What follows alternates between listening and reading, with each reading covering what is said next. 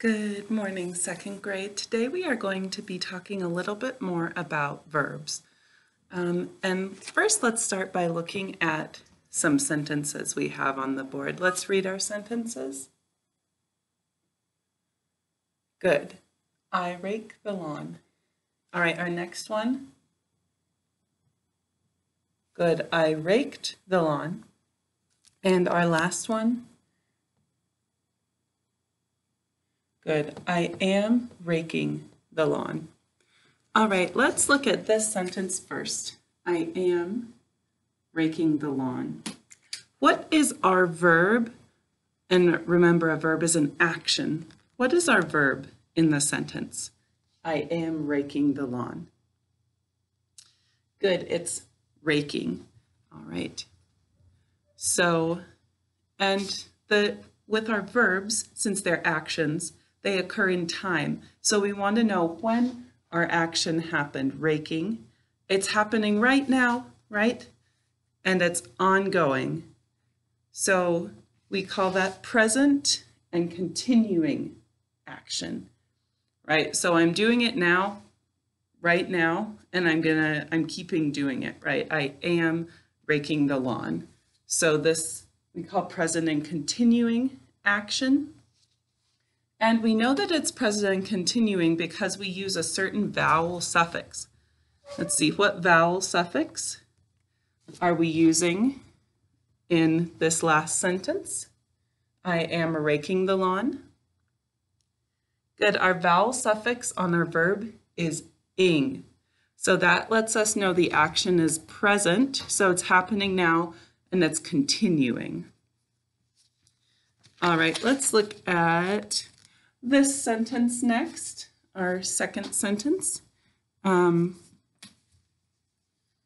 what is our, what's happening? What's the action in this sentence? I raked the lawn.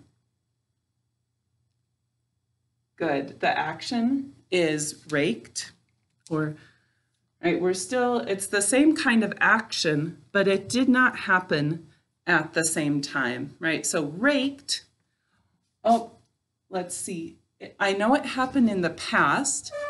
And what vowel suffix am I using that helps me know that this happened in the past? Good, it's our ed, -t, past tense ending. So I could have just finished raking the lawn, and I'm looking at it, and I say, yeah, I raked the lawn.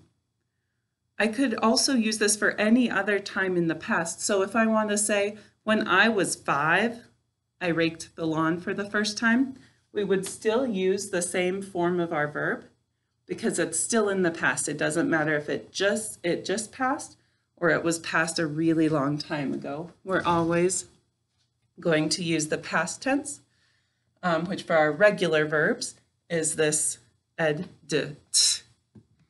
All right. Oh, and so we call it past tense ending because tense just means time in, when we're talking about English verbs. So tense means time. So when I we talk about the tense of the verb, it just means when did the action happen? Did it happen right now? The tense means time. So when we say past tense ending, we just mean um, we're just saying the action was in the past. It was in the past time. All right. And let's see, look at our first one now. I rake the lawn. All right. It's also present. It's happening now, but it's not ongoing and continuing like it was in our first sentence. Um, so this is our present tense, and this is our regular, what we usually learn is the present tense and then we know how to make it past tense, and then we know how to make it um, present and continuing, right, by adding these different vowel suffixes. Um, and also, before we move on, um, I had to do something to this word before I added my vowel suffixes. What did I do to the word before I added my vowel suffixes? All right, if you said, I drop the silent final E, you're just right. Remember, with words that have a silent final E, we drop that before we add the vowel suffix. All right, let's look at a page in our notebook to help us understand the idea of tense a little bit better. All right, so let's go to page 18 in our orthography notebook. All right, at the top it says regular verbs. All right, and it reminds us that tense tells us when an action happened. All right, so the first tense that we always learn, or almost always, is the present, right? So that means happening right now.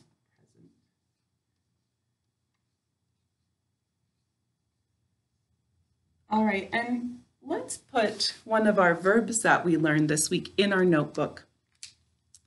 So on that first line that you have free, under present tense, we're going to write look.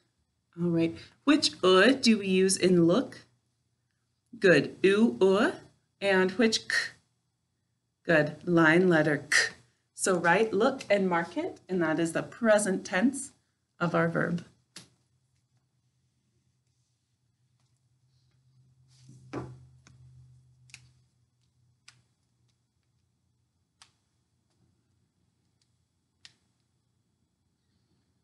All right, tell me what I need to write to spell look.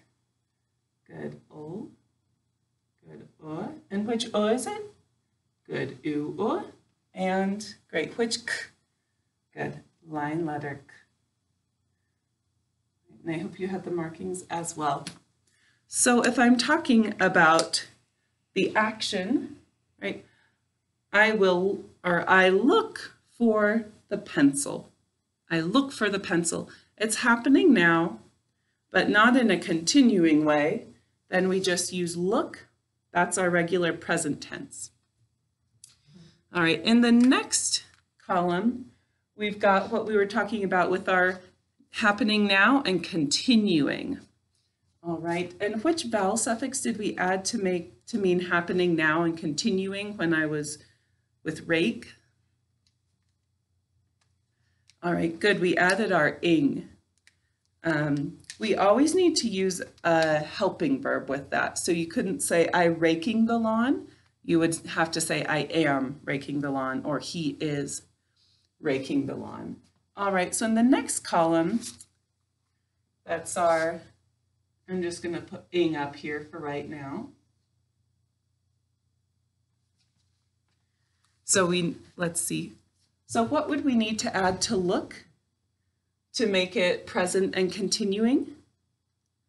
Good, we would need to add our ing vowel suffix, but I'm going to write the what we call the helping verb as well, because I can't just say raking. I have to say is raking.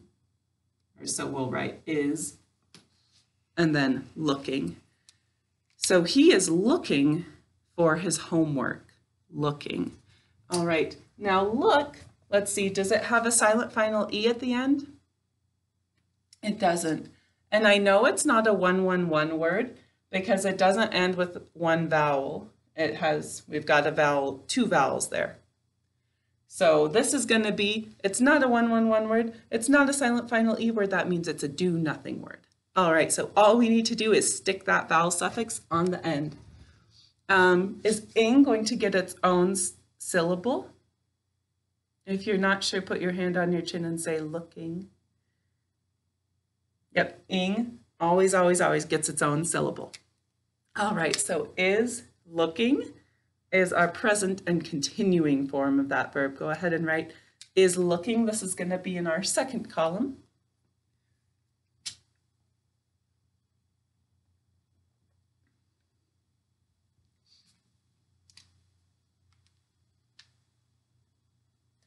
And remember, we're always going to mark and do the syllables in our words until we've mastered them. All right, what do I need to write to spell looking? Good, it's just my base word look using oo. And then I add my vowel suffix.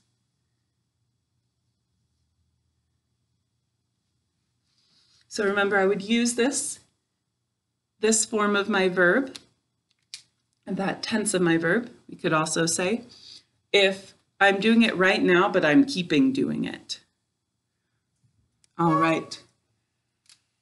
And the last one we're going to talk about right now is past tense. All right, we've talked about that a little bit with our edit past tense ending. All right, so our regular verbs all use ed to make them past tense. So if we want to talk about looking that I did, that was that was in the past. Oh, look is a regular verb, so I'm just going to go and add ed past tense ending. And that could be I was looking one minute ago, I would use looked. If I was looking five years ago, I would still use looked. Anytime in the past, anything that's already happened, we use our past tense ending. All right, so the only trick with our past tense ending is we have to figure out if it gets its own syllable or not. Remember, it gets its own syllable if it's making its first sound, it does not if it's making its second or third sound. So to figure that out, all we do is put our hand on our chin and say looked. Oh, it's still just one syllable. So I'm just going to write my base word look and my edit past tense ending. So go ahead and write that in the past tense column.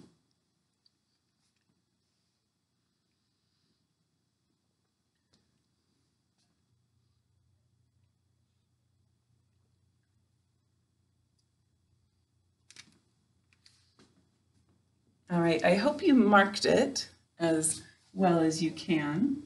And remember when we're marking it, we always start at the beginning and mark everything going through the word.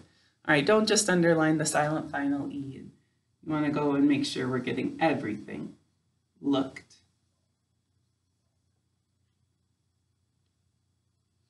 All right, we know we need to underline this, but we know it's not saying its first sound or it would get its own syllable.